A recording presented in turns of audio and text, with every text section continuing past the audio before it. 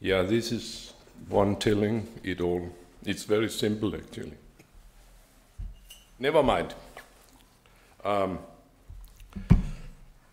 I will start by.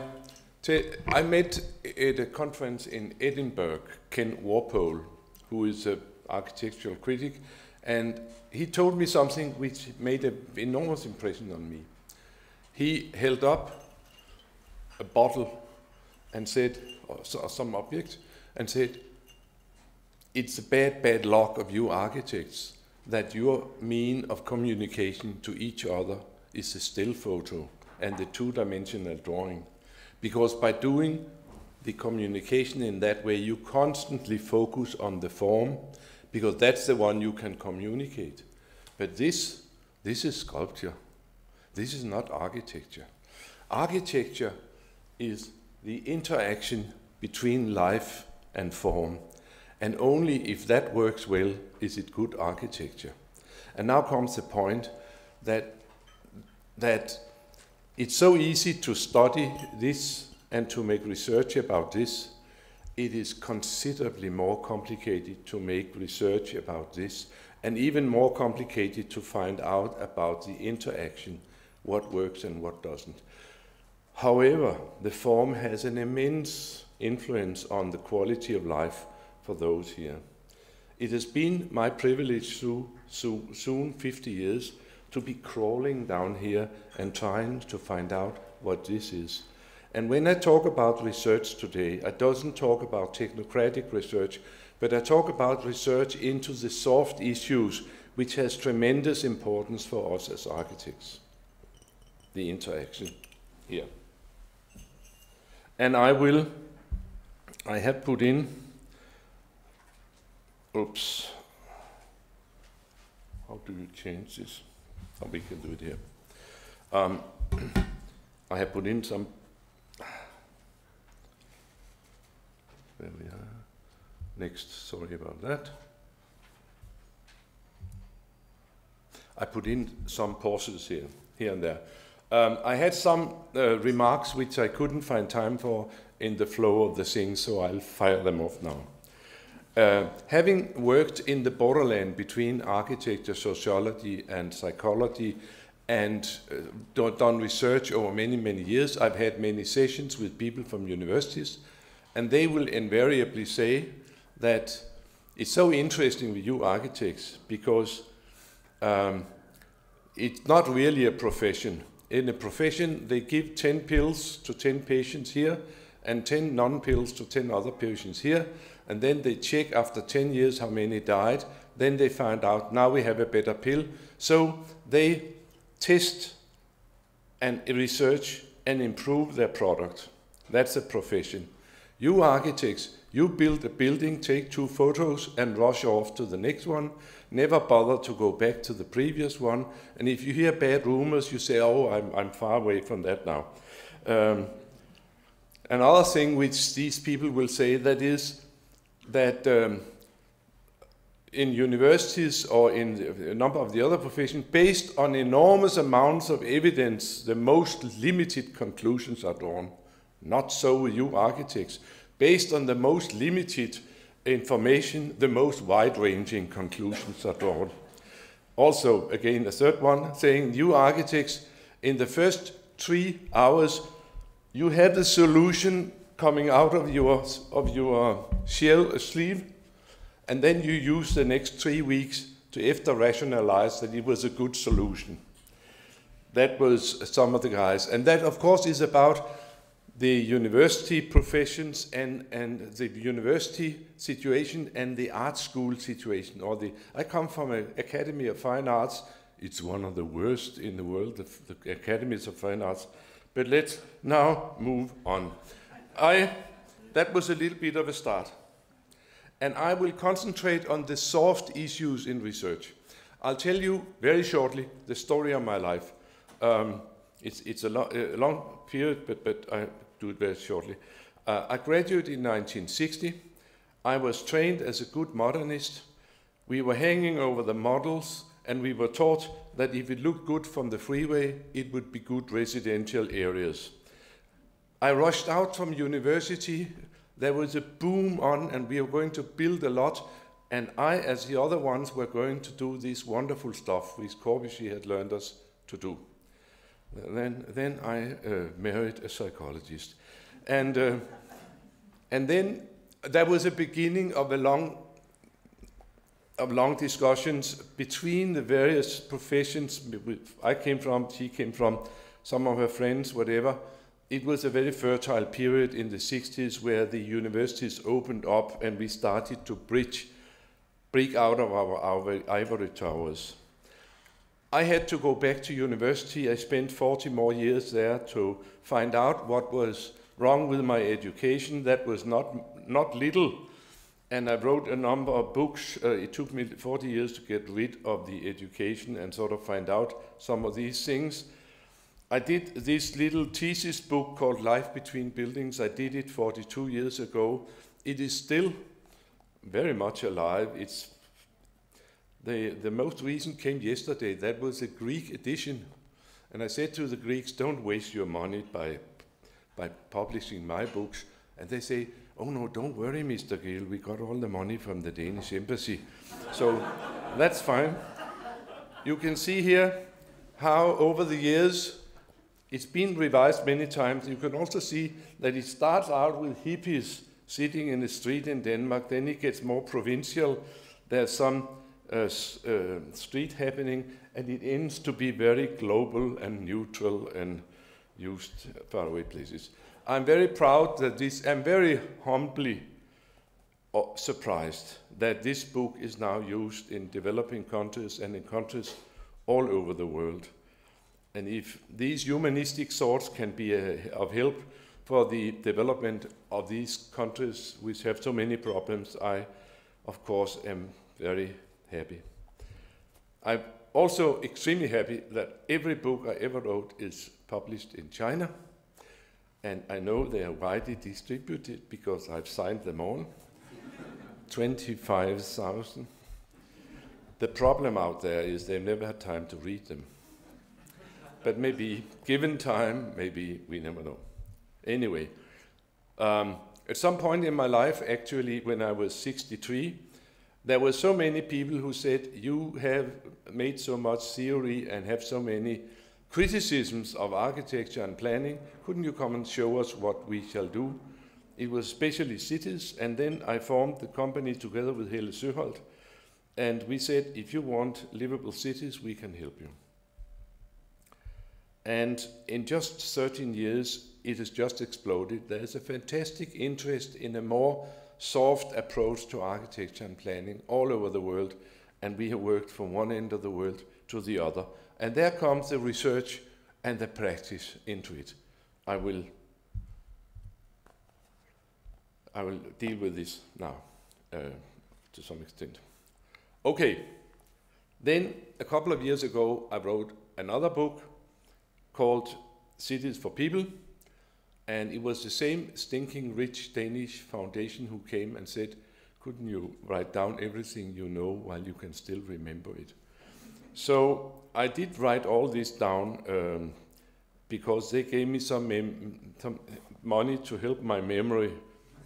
That means to have assistants to do research and things like that. And we made the book, which is now completely exploding, and it's out in more than 20 languages and yesterday we signed the contract for Kazakhstan. Um, it's even out in French, which I'm very proud of. After 40 years, we have a book in French. It's not in France, of course, but it's in Quebec, Montreal. And so this book actually is about all we now know about this. And then they came back to me this year or last year saying, couldn't you write another book while you can still remember and tell how did you develop the methods? How did you find out about this? And then we have to do a, new book, which is brand new, which is called How to Study Public Life, um, which, which is, I'll show you later on, whatever. I'll come back to that. That's for me to have a little this Cities for People, it deals very much with the change of paradigm. And I can see now, it's always a privilege 50 years later to write a book. I can see now that around 1960 there was a fantastic change. That was the biggest change in the history of mankind. That was the introduction of the modernistic way of thinking. We should have a new architecture, we should have new site plans, we should have new city plans. Everything should be, everything known should be thrown out because now modern man should have modern environments. Fantastic. The other part of the change of, of paradigm around this time was the introduction of, of cheap cars and cheap petroleum, which, which had have had in the past 50 years a fantastic influence. Um, first, all the cars went and filled all the existing spaces. Um, yeah, maybe I should go. No, we can. Okay. Already at that time, 61, Jane Jacobs wrote down, hey, hey, hey, if the modernists and the motorists are going to form our future, the cities will be dead. Look out of your window to Hudson, to, um, Hudson Street in, in, um, in, in, in Greenwich Village and see what real life is. And these guys, they don't know a shit about it. And she wrote about this. It had a great influence as an ideological book. She was a journalist.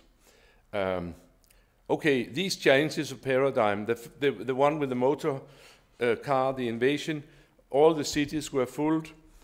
And then we had a completely new infrastructure based on cheap petroleum. And gradually, we also had a fantastic, competent group of people, the traffic engineers, they had a, they have a heyday and still have. And they are very well trained universities, and they are out there uh, organizing the potholes while people are generally world, uh, around the world having a worse and worse time. So the, then we can talk about the, the research in these areas. I think that the traffic engineers, they have, they have fantastic research. They know everything. They count everything. They have models and they have prognosis of everything, and, and so they have a very, very impressive, and I admire them mightily because they know so much, and by knowing so much, they influence so much. And then when we come to the soft values in city planning, do you know of anybody who has a city department for pedestrians and public life? Yeah, Tina Sobi has now. And do you know cities who, who know as much as the traffic engineers know about the people? No. Some people, some cities have started now, but it's been a fantastic gap between what we knew about traffic and we knew about people. Nobody looked after it. And we also found out that if we know through research about a subject, then it is being discussed and you can have a policy and it has influence on what happens. So if we have areas where no knowledge is available, it will generally be overlooked and everybody would talk about it nicely. The other change of paradigm, I have to go very fast, that was the introduction of the modernistic thinking, the, the, um, um, the ideas from 1930. Cities were bad, freestanding buildings were good. Um, what happened was that we were at that point had to build very fast and very large, and the modernistic ideas was very easy to reproduce and to do in big scale. So the planners stepped up and started to organize the objects from a great height. The site planners also went up and started to organize the thing. And nobody thought about that there was a hard need to have somebody to look after where people were. That was always looked after in the history of mankind. Now there was nobody looking after it. And then I call it the sub-Brasilia syndrome, where everything is done from above and from a distance. Uh, and Brasilia looks like an eagle, and the buildings are very tooted. And we hear a lot about Brasilia. When I was studying, we were sort of lying face towards Brasilia daily. Um, so fantastic. Down at eye level, Brasilia is absolutely shit. Nobody thought that they didn't have helicopters, all of them, so they can enjoy the city. What has happened is that we are still doing Brasilia syndrome planning based on the modernistic uh, idea of freestanding buildings on grass. We are doing it all over the world. Uh, this is just one example. We also, and I'll come back to that, we started to have a new breed of architects, which are the bird shit architects who go around and drop buildings wherever they can be paid, um, not always looking much into the context. Um, so we have a globalization of the profession of architects going together with these very simple planning ideas. Here you can see the usual suspects hanging over the model, and you can see the model here. You can hear them say, we have no oval buildings. Oh, for God's sake, let's have two oval buildings. And couldn't we tilt those 45 degrees? Yes, we can tilt them. And then you have a, a, a, Dutch new town. How is it for the Dutch at eye level? And the confusion is complete. Now this is a very charming new Chinese city. Have a good time in Hefei Binhu. If if we talk about research in relation to the modernistic planning principles, I should say that when all this started, nothing was known. It was not realized that physical form had anything to do with quality of life and, and a number of social and soft issues. It was known, and we have research on health and fire brigade. And if you look at the rules, they are very much influenced by, by sun, air, and contact with nature, and good fire escapes, and running water, and uh, things like that. Physiology and safety. But sociology and psychology, nothing was known. It was not realized that by putting all these buildings out with great uh, intervals and having, instead of spaces, you have in-betweens, in the and this could not be used for human encounters. So virtually, for years and years and years, the modernistic planning went unchallenged and unresearched. It is evidence, of course, that people generally throughout the period never liked this way of planning, and there is much, much evidence about this. Um, here, the Australians they are more specific, and here, they have started to realize something may be wrong in this way of planning. And I like this one. I saw it this spring in, in, in Melbourne that now we fix your salads. Next up, we must fix the docklands. You could also have a sign like this on your salad bars here in London. And that's again, these modernistic planning areas, they were never popular with the ordinary people, um, whatever. So very little research in this area. Fantastic manipulation. Nobody checked it. And where is the architects in all this? I think that the architects, they have been utterly confused, uh, generally. Um, and also we've had the globalization, and we've seen an increasing focus on form that architects are now competing on form increasingly.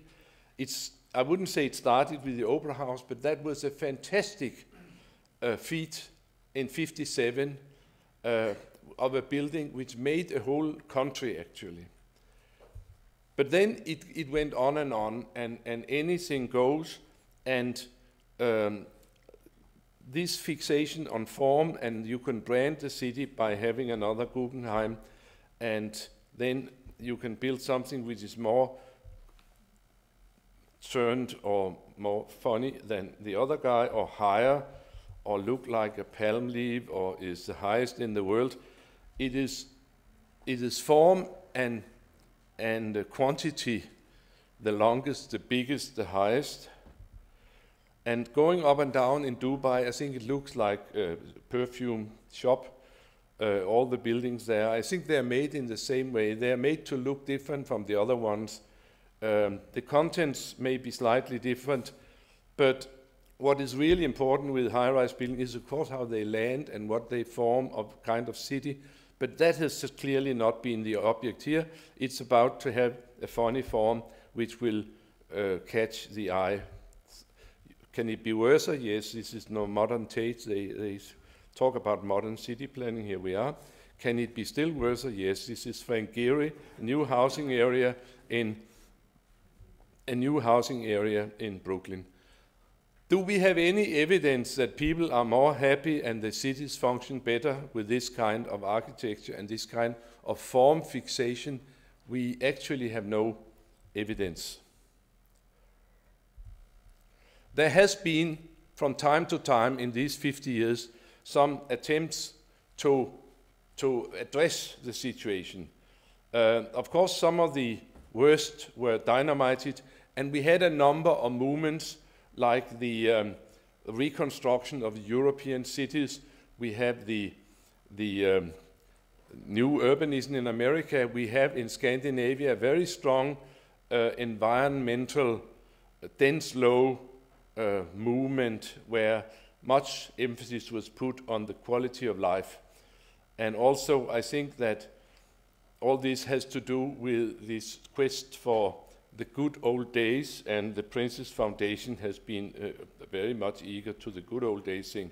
Um, so we were worried about the, the rapid development of our cities, and we sought back to the good old days in various ways in various countries. That's been one of the movements, not based on, on research, but more based on, on, on, on gut feelings. Does architects not like people and planners? Don't, don't they like people at all? No, they love people because every time there is a project, it's crawling with happy people. Whether it's a good project or it's a bad project, it's absolutely crawling with people and they have a bloody good time doing things no people would ever do in cities. Here is the waterfront in Sydney. They are all there. All the Sydney siders are here for one lunchtime here. This is a social housing in Denmark. Fantastic. Fantastic. Must be a good project. So, architects and planners, they love people, and they love them on the perspective drawings, and they know that if they can make people believe that this works, then people know that it's a good project and they get more happy. So you can always draw this, and then you find that it doesn't work after all, because it may more likely be like this down in, on ground level or like this in lovely bench by Graham Koolhaas, by the way. Um, so there is not much concern and there's not much knowledge. Um, I'll go very quickly over this. This is the most popular area in Copenhagen, the highest prices, some old workers' cottages, two and a half story, looks awful from the air, looks awful from the helicopter. Down at eye level, it has all the qualities you can ever talk about, and it has the highest concentration of architects in Denmark. And the planner, planning head of Planning Copenhagen lives there, the prime minister, you name them. Half the professors from school, they live there. And this is sort of practical research that they show with their feet where it's good to live. And the prices are sky high, and it looks awful from the air. So my, my conclusion here is that, uh, of course, the people scale is the most important, and we haven't studied that much. I mentioned that we've done a new book now about methods for trying to find out more about this and the interaction. It's just come out and we made an overview, you can't see it, but an overview of some of the books which have been written over these 50 years. And also, we, we are not the first, but many people have pointed out that when tuberculosis was a big problem, modernism was invented as an anti tuberculosis architecture. Long after tuberculosis was beaten, we continued 50 more years to do modernism. Then we had what we call lifestyle diseases or industrialization diseases, and that would be uh, heart and traffic accident, heart disease, and anxiety, whatever. And returning to the good old days would sort of be the answer to that. Now we had, we have the um, the obesity uh, crisis and whatever, and a new type of city planning would be the answer to that uh, architecture have followed with some delay the various concerns for health in society, which is a very interesting um, area to study, by the way. I would say, and I'm happy about that, that after 50 years we now have a change of paradigm. it goes from more quantity oriented to much more quality oriented issues. We want livable cities, attractive, safe. We need to have sustainable and healthy cities.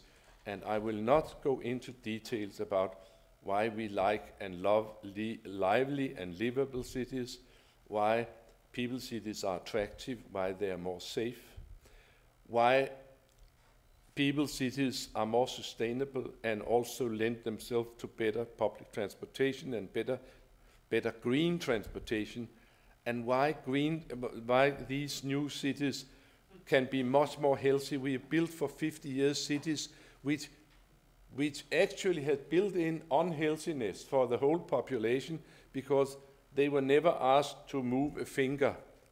Um, and that has caused um, obesity and lack of, of activity to be the main cause of death, much worse than the cigarettes. So now we have cities around the world with new agendas. We will, instead of having people so comfortable as possible behind the gasoline uh, and the four wheels, rubber wheels in the corner of the, each person. We will now make city planning where people are induced to walk and to bicycle as much as possible, not on Sundays and Saturdays, but for God's sake, every day a year. And we know that if you have an hour a day, you can have seven more lives, years, and you are much cheaper for the health system. Um, I'll take the example of Copenhagen, and now also there's an example about how research and practice goes together. Uh, you like that. Um, Copenhagen was one of the very first cities, and also it's something about the app. Where have you seen these sorts of this book, Cities for People? Where are they actually applied? And Copenhagen is an example. And Copenhagen, they started out very, very early in 62. And that was the time when Jane Jacobs wrote her book in Greenwich Village. Copenhagen pushed the cars out of the main street. Nobody believed it would work, so it worked wonderfully. And over the years, they have improved every single year. They have improved on the conditions for the life in the city, uh, in this city of Copenhagen. Copenhagen was also the first city in the world where the life in the city was studied. This was studied by us people from the university. Nobody asked us to do it, but we, uh, or maybe rather I, was um, doing this PhD where I sat on the main street to see for a whole year to see every day what was going on and tried to systematize it and published it. And after some time, there was a very interesting interplay between city and university, town and gown. We did the surveys, we studied every bit they did, and we counted all the people and we published it and we tried to bring order in it, and that was public knowledge, and the city received it and looked into it. And then, uh, after a while, the city started to say, We don't know much about this. Would you also go and study that? And after a while also we got money to help us in our studies. And also I know now that I got, when I retired, I got a nice letter from the mayor, uh, or was it the city architect at that point, saying that if you at university had not collected all this information about the life in Copenhagen, we politicians would never have dared to make Copenhagen one of the nicest cities in the world. So that is an example about research helping city planning. And that's also very much what our new book is about, is this example of research actually being able to lift a city, the city planning. Copenhagen became the first city in the world which have an official plan to be the best city for people in the world. They have an official plan to be the best city for bicycles in the world. They are the first city where the government arrived to the Queen in, on bicycles to get their commissions two years ago. Um, and also, it's number one on the list of livable cities in the world. These things are, in my point of view, connected. Are there other cities who have done something like that? Yeah. City of Melbourne is a miracle, and it is a modern city, wide streets, whatever. It has been very early. They start. They decided it was famous for being dull and useless, and they decided that they would make it, invigorate it and make it a wonderful city, a fantastic city. And they started again to get information, to get evidence about how the city was used, and use this, uh, use this uh, offensively in trying to improve the city step by step by step. They made fantastic improvements. And now Melbourne is like Paris, and it's a fantastic city. And um, other cities which have done this would be Sydney. It came a little bit later when they heard Melbourne was doing it. Um, and again, in Sydney, they are full speed in throwing out the cars and bringing in the pedestrians and the light rail in the streets, as you should have done in Oxford Street years ago. Um, Sydney has not done so much yet, but they are very, very good in making posters about what they like to do. And I think that's very important that you tell the population that you're doing this for mankind and the climate, and you better start to think about that you shall walk and bicycle much more, and we are doing it for the climate. And then, lo and behold, on the list of most livable cities in the world, 213, Copenhagen, Melbourne, number one and two, and the cities which have I have worked with and which I know have, have started with this interplay between research and practice. Of, of, of the 10 first, I know about that six of them are definitely into this of studying, of getting information about the soft issues before they plan. New York had some problems with the bicycles. There was a little poster about it.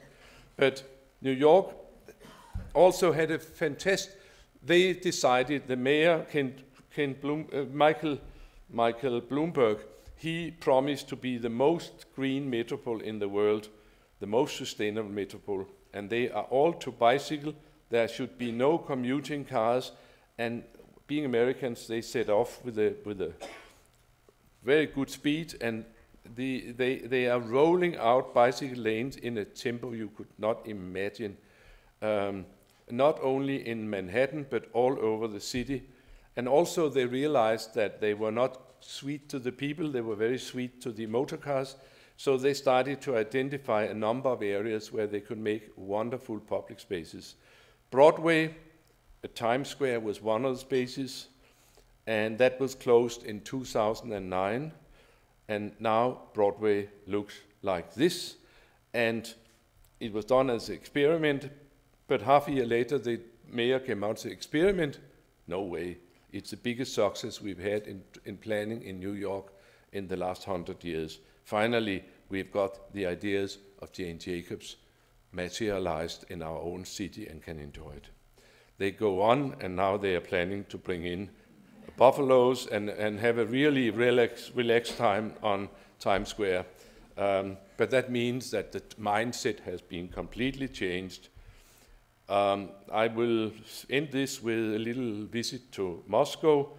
Um, Moscow heard about our work in Melbourne, Sydney, Copenhagen, London, and in New York. And then uh, when the president said to Moscow, it's appalling what kind of quality you have, Moscow. Go and bring your act together.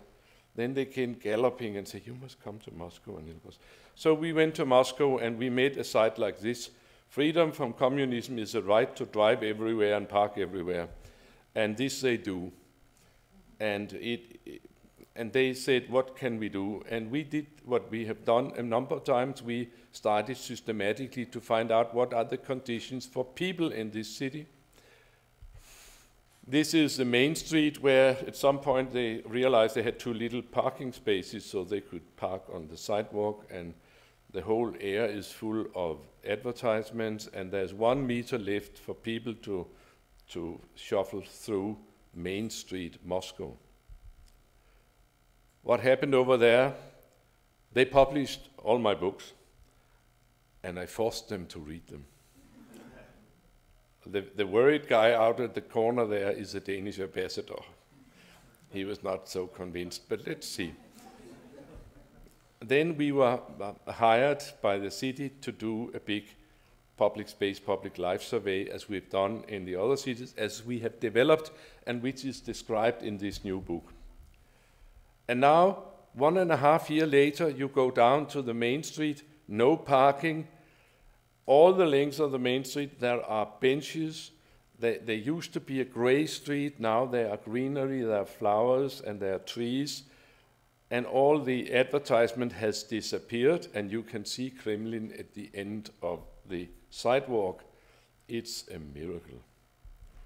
And here you see the mayor of Moscow, who he's now been brainwashed, and he is on the route to a livable city after all these years.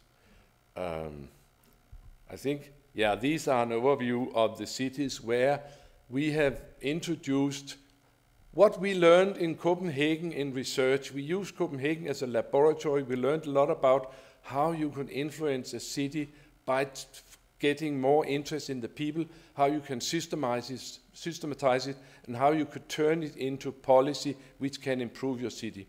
This we have worked over in now in all these cities, London being one of them. Not too much has happened in London compared to the other ones, but maybe they can be inspired by Moscow one day. We are now 50 years after Jane Jacobs. And for many, many years, I think that she, she was read widely, but she didn't have much influence. Um, I have made this little thesis of mine, PhD thesis, 50, 42 years ago, and it, it's still coming out. It's come out in, in 35 editions and 24 languages. The next one will be Icelandic. I'm very proud of that. Not many people make it into Icelandic. But then you could question yourself now after 50 years, what has really happened? And what I can see, where are these soft ideas picked up and used? They are picked up and used in the cities. That's the lower end here. And where do I think there is a fantastic deficit? That's in the new stuff. It's new towns. It could be Docklands here. It could be Docklands Melbourne or Docklands in Sydney. It could be new towns here and there. One is from, from Vienna and some of them here, unfortunately, from Copenhagen. And what I'm saying with this is that why has these soft ideas and the research in soft things been introduced in the cities and used in the cities? One of them is even this summer, Regent Street. Um, that is because we have real people here, we have voters, we have people who press their politicians, who discuss the city quality with the politicians, who demand improvements, and then there is a background for improvements. Why hasn't not much happened in architecture and planning? That is, in my point of view, because we still in our schools of planning and architecture, landscape architecture, are completely stuck in the modernistic way of thinking, and we have turned into this celebrating the form for form's sake. And there is appallingly little research being done in what this means for the people who are to live there. We still flash pictures of these new towns to each other, and I, have tried several times to make a book about nice new towns, and I found two or maybe two and a half here and there. You have to look very, very careful because most of it went wrong. I think that there is a big deficit in education. People are not part of the education at all, still is not. And the research is only very meager. In the course of making this book about how to study public life, um, we try to make an overview of what has been studied and who has been the pioneer and how many books have been made. This happens to be a bunch of Americans. It, it's interesting that there are so many Americans because you can't see it over there. But um, it's appalling how few has been interested in this subject of life and interaction over 50 years. And the, what we know now, we know something, but it's appallingly how little we know. And I think that I can quote the mayor of Bogota, Enrique Peñalosa, who said, it's, it's, it's, time, it's thought-provoking that we know very much more about a good habitat for mountain gorillas and Siberian tigers than we know about a good urban habitat for Homo sapiens. So, I think that this world is full of brilliant designers. I admire them and I admire the traffic planners for their research. But we as designers and architects, we desperately want programs which are just as good as the designers. Much good design goes sky way up in the air without having a good foundation. So I do think that the programs are very under evaluated and underdeveloped in our in and in our profession, and also I think that that this really is an area which should be developed. In my firm, we do absolutely no design. We do strategies, we do programs, we do analysis, uh, and we help to make the foundation and advise the designers where to go instead of, of fiddling with the design because so many people are doing excellent design, but the programs are the weak spots. So, in conclusion, let us develop a profession where we have research and we have also design, and they go together.